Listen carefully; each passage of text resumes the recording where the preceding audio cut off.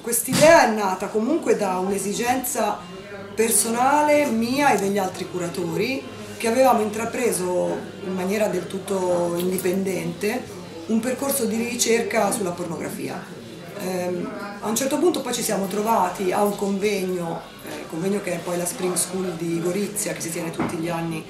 appunto a Gorizia, ci siamo ritrovati in un pomeriggio dedicato alla pornografia perché avevamo appunto indipendentemente mandato a questo convegno degli abstract eh, su, sul tema del porno. Tutti e tre, io e gli altri due curatori che sono Enrico Biasin e Federico Zecca, eh, avevamo incontrato nel nostro percorso di studio gli studi anglosassoni, cioè soprattutto ovviamente Linda Williams che è stata la prima a sdoganare dal punto di vista eh, teorico lo studio del porno eh, e avevamo pensato che sarebbe stato bello provare a importare i porn studies, cioè quella branca degli studi culturali eh, che si dedicava specificatamente al, allo studio della pornografia, anche in Italia.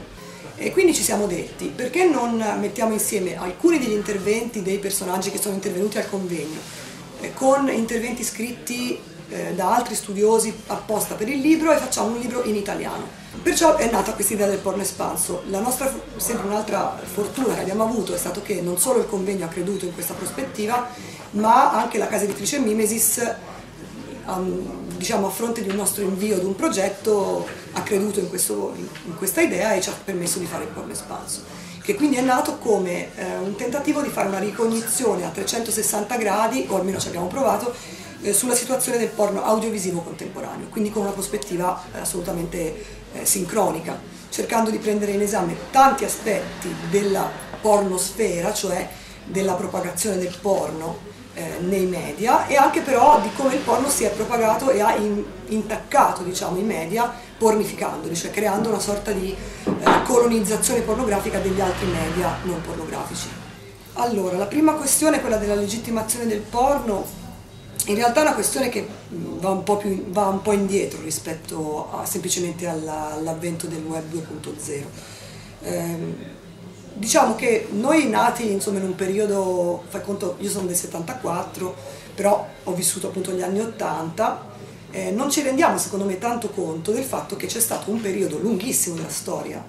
eh, in cui la pornografia era vietata, cioè in cui non era possibile vedere immagini pornografiche legalmente. Questa cosa, cioè il fatto che la pornografia audiovisiva sia nata effettivamente con il cinema, perché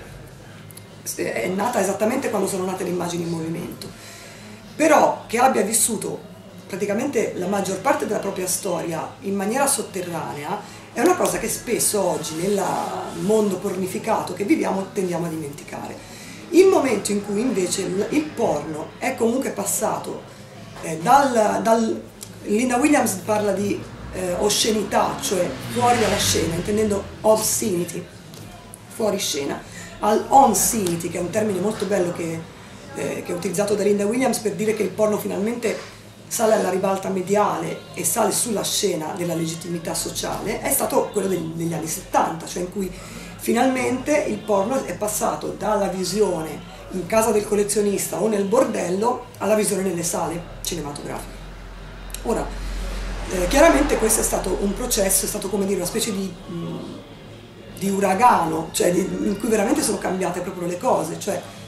dall'illegalità alla legalità, moralmente riprovevole, sanzionabile, eh, vista sempre come una cosa comunque per pervertiti col cappotto, che però comunque legale, legale o legittimata, no? Nel caso per esempio italiano non si può parlare, negli anni Ottanta è successo in Italia, no? Perché il porno eh, nelle sale cinematografiche ci è arrivato a fine anni 70.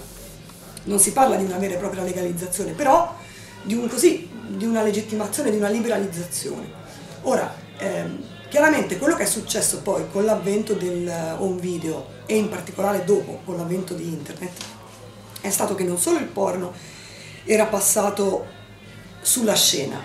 ma era diventato predominante in questa scena, cioè ehm, Secondo me addirittura l'avvento di internet ha reso la stessa categoria di onsinity quasi obsoleta, cioè quasi antica, perché ormai non è più che onsinity, è che è pervasivo il porno ormai, cioè è passato dall'essere tollerato all'essere appunto pervasivo, penetrante nel sociale, nell'immaginario, eh, capace di colonizzare la moda, la musica, il cinema legittimo, appunto l'immaginario in maniera molto molto più forte semplicemente di quando era passato alla legalità negli anni 70. Dire che eh, il porno è stato legittimato da internet sicuramente è eh,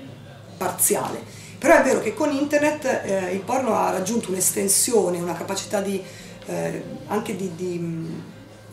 relazione, cioè una possibilità di relazione molto superiore a quella precedente, comunque targetizzava eh, per esempio l'audience, perché era difficile dire ora esco di casa, vado al cinema porno. Anche quando poi c'è stata poi la, la questione delle, del videonoleggio, allo stesso modo era difficile no? entrare nel, nella sala, quella privata dei videonoleggi. Mentre con internet oh, chiaramente mh, si è creata una penetrazione del porno nelle case delle persone in maniera molto più, più pervasiva che ha creato una, anche una, un ampliamento del target, cioè il fatto che adesso appunto c'è questo dibattito che anche i bambini volendo possono accedere ai siti porno. Quindi, quindi secondo me diciamo che più che di legittimazione tramite internet, secondo me è stata proprio una forma appunto di, di, di pervasività, di proliferazione. La la.